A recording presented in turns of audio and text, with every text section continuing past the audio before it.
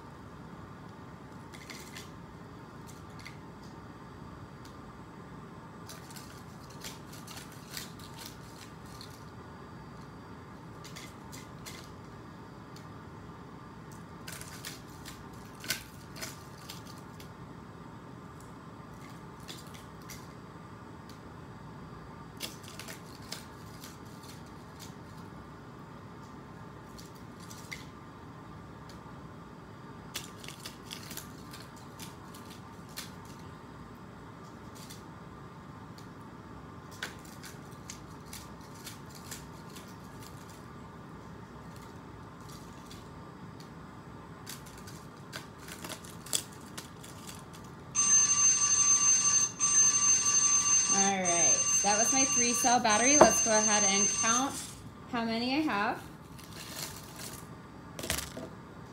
One, two, three, four, five, six, seven, eight, nine, 10, 11, 12, 13, 14, 15, 16, 17, 18, 19, 20, 21, 22, 23, 24, 25, 26, 27, 28, 29, 30, 31, 32, 33, 34, 35, 36, 37, 38, 39, 40, 41, 42, 43, 44, 45, 46, 47, 48, 49, 50, 51, 52, 53, 54, 55, 56, 57, and 58. Okay, up next I'm going to do my 2D cell electromagnetic fishing pole. Same number of coils, everything else built the same except for the number of batteries. I'm gonna go ahead and start my timer.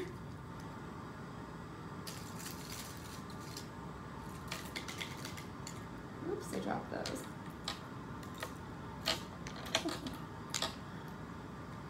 This one's getting awfully hot quick.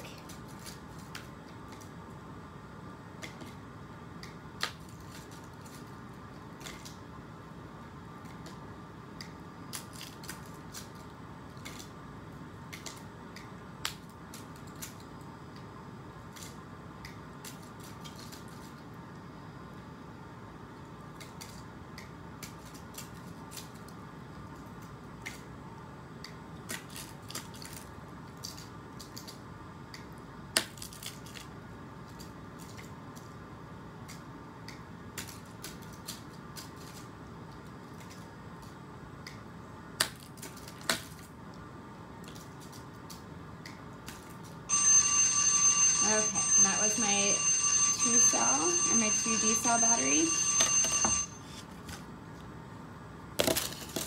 Go ahead and count those. There's already one in here. Two, three, four, five, six, seven, eight, nine, 10, 11, 12, 13, 14, 15, 16, 17, 18, 19, 20, 21, 22, 23, 24, 25, 26, 27, 28, 29, 30, 31, 32, 33, 34, 35, 36, 37, 38, 39, 40, 41, 42, 43, 44, 45, 46, 47, 48, 49, 50, 51. So with the two D cell battery, I got 51 fish. And finally, I'm going to do my one D cell battery electromagnetic fishing pole. Again, everything else is the same. Ahead and set my timer and go.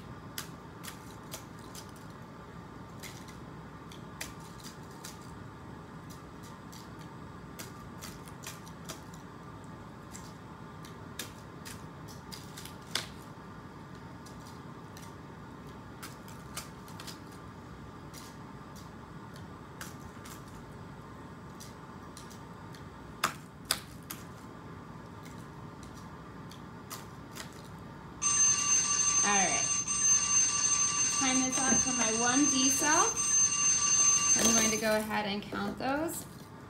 One, two, three, four, five, six, seven, eight, nine, 10, 11, 12, 13, 14, 15, 16, 17, 18, 19, 20, 21, 22, 23, 24, 25, 26, 27, 28, 29, 30, 31, 32, 33, 34, 35, 36, 37, 38, 39, 40, 41, 42, 43, 44, 45, 46, 47, and 48.